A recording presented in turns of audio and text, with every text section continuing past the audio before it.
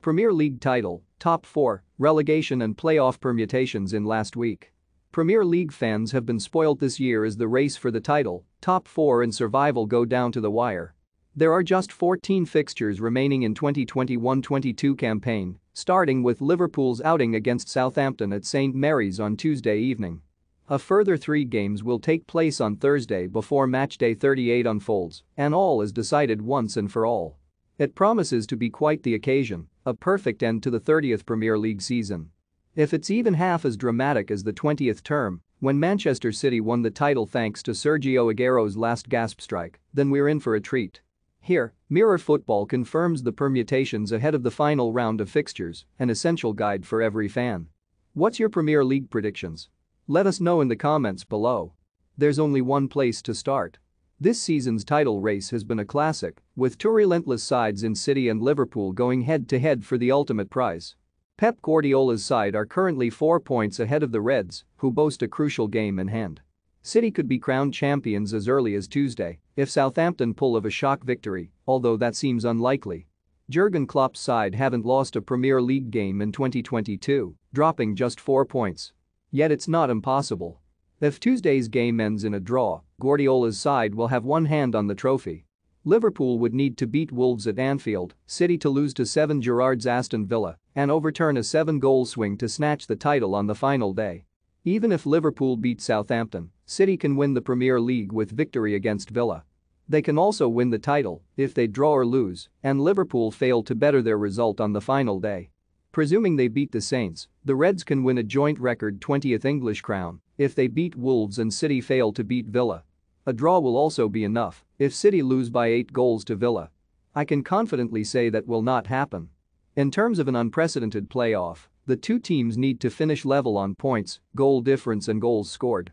They also need to have the same head-to-head record, which won't be an issue after both games between the two teams finish 2-2.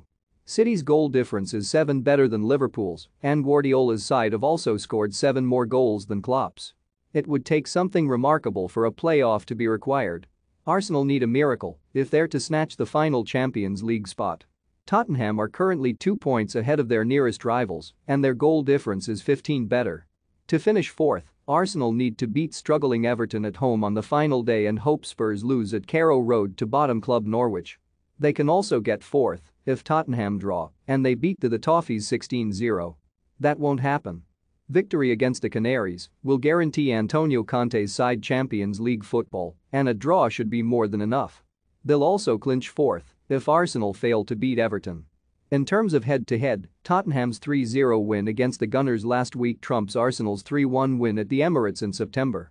Spurs have also scored 8 more goals than Mikel Arteta's side, just to give them another advantage. Three teams can still be relegated from the Premier League, Burnley, Leeds, and Everton. Watford and Norwich are already down. Burnley are 18th on 34 points, but have two games remaining against Aston Villa, away, and Newcastle, home. Their goal difference is minus 18, scoring 32 goals.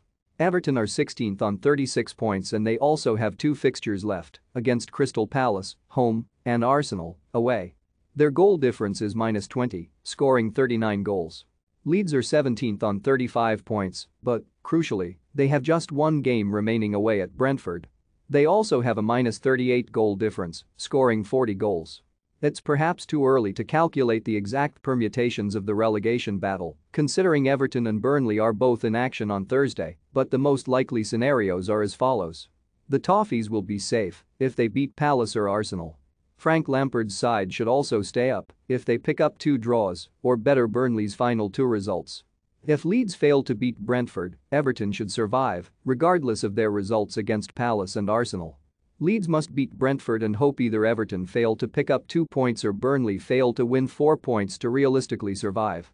Leeds will be staring into the abyss if Everton or Burnley both win their penultimate games.